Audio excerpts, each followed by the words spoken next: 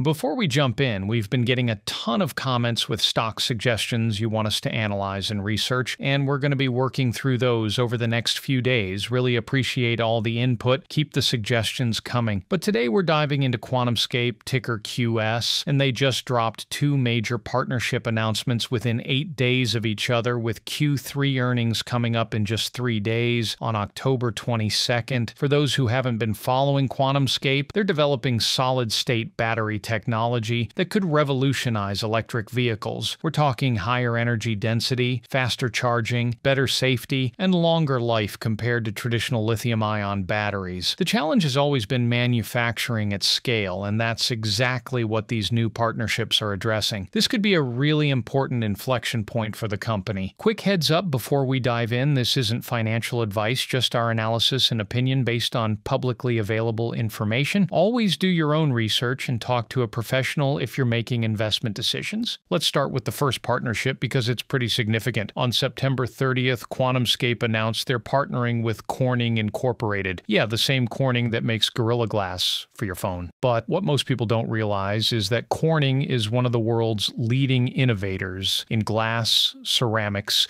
and materials science with a 170 year track record. They've got world class capabilities in ceramics manufacturing and that's exactly what QuantumScape needs. The partnership is focused on jointly developing ceramic separator manufacturing capabilities for QuantumScape's solid state batteries uh, with a focus on high volume production. The ceramic separator is basically the core technology that makes QuantumScape's batteries work. It's what replaces the liquid electrolyte in traditional lithium ion batteries. Uh, manufacturing this at scale has been uh, the billion billion dollar question, and now they've got uh, one of the best ceramics manufacturers in the world working on it with them. Then, just eight days later, on October 8th, they announced partnership number two with Murata Manufacturing. Murata is a leading manufacturer of ceramic components and electronic components, and they're coming in with the same goal leveraging their strengths in ceramics technology to contribute to high volume production of QuantumScape's solid state batteries. So, within the span of eight days, QuantumScape locked down two world class ceramics manufacturers to help solve the manufacturing challenge. That's not a coincidence. This is clearly part of a deliberate strategy to build a manufacturing ecosystem around their technology. What's really interesting is that both Corning and Murata are established, profitable companies with decades of manufacturing expertise. They're not some startups, these are industry leaders who are committing resources to work with QuantumScape. That's validation of the technology from companies that know what they're doing. And the CEO, Dr. Siva Sivaram, said something really important in the Corning announcement. He talked about building the foundation for scalable production and furthering their mission to revolutionize energy storage. The key word there is scalable. QuantumScape can make their battery cells work in the lab. They've demonstrated that with their QSE 5 cells. The question has always been whether they can make millions of these things economically. By bringing in partners like Corning and Murata who have deep manufacturing expertise and existing production infrastructure, they're de risking that scale up process. These partnerships let QuantumScape focus on the battery technology and cell design while leveraging partners' manufacturing capabilities. It's a smart strategy that a lot of tech companies use when they need to industrialize new technology. Now, let's talk about the financial position because it's actually pretty solid for a pre revenue company. QuantumScape has about $797 million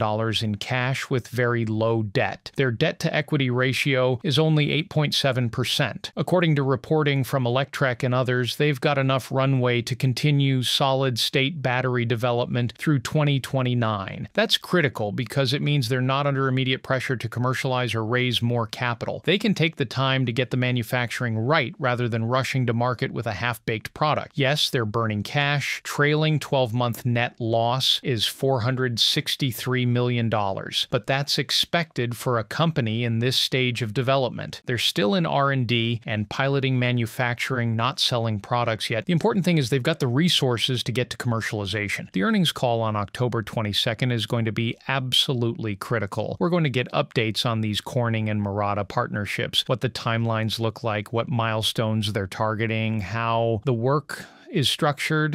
Uh, we'll also get updates on their QSE5 cell performance and testing manufacturing progress on the pilot line, and hopefully some clarity on the commercialization timeline. And there's always the possibility they announce additional partnerships, given that they just dropped two in eight days. Who knows what else is in the pipeline? The pattern here suggests they're aggressively building out their partner ecosystem ahead of scaling production. You might see announcements of automotive OEM partnerships, additional equipment suppliers, or materials partners. What's interesting about the analyst community is they're mixed but trending more positive after these partnerships. Seeking Alpha actually upgraded their rating on October 10th, specifically citing the partnerships as reducing execution risk. Baird raised their price target from $6 to $11 back in July, but you've still got skeptics. Goldman Sachs has a sell rating. The mixed opinions make sense because this is still a high risk, high reward situation. QuantumScape is trying to commercialize a technology that nobody's done at scale before, but the partnerships with Corning and Murata show they're making real progress on the hardest part of the equation. The competitive landscape is worth mentioning because QuantumScape isn't the only company working on solid state batteries. Toyota's got a program, Samsung SDI is working on it, Solid Power is a direct competitor. This is a race, and whoever gets to commercial production first with a product that works and can be manufactured economically wins massive market share in the EV battery space. That's why these manufacturing partnerships matter so much. They could be what gives QuantumScape the edge in that race. Corning and Murata bring decades of ceramics manufacturing knowledge that can accelerate the timeline significantly compared to QuantumScape trying to figure it all out on their own. Look, there's execution risk here. They still need to prove they can manufacture at scale. The timeline to commercialization is uncertain and competition is fierce. The stock's also incredibly volatile with a beta near 5, so it moves way more than the market. But when you look at the pieces coming together, proven technology in the lab, $797 million